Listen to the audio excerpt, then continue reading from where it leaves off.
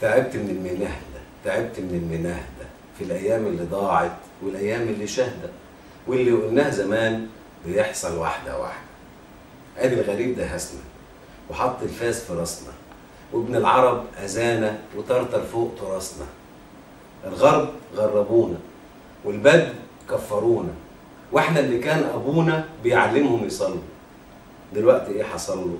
على إيد اسمه كفيله بيلعن سنسفيله وبيستمتع بجلده. علشان نسي إن والده كان عايش في التكيه وكان يصعب عليا أزرع وأديله ياكل يشبع يقلب عليا ويقول كفار فراعنة ويموع كل معنى ويغطرش على الحقيقة ويحارب في السبوع علشان قال إيه؟ عقيقة. وفي مصطفى إسماعيل علشان أصوات خنيقة وبيكفي بناتنا وبيصغر رجالنا.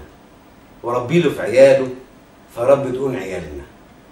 ويقول يا مصري ليش تاكلون الفول بعيش؟ أقول علشان نسينا. نزرع تشكى وسينا وفضينا للفتاوي اللي ماليه الرداوي. والأحداث المثيرة على قناة الجزيرة. فابقوا معنا.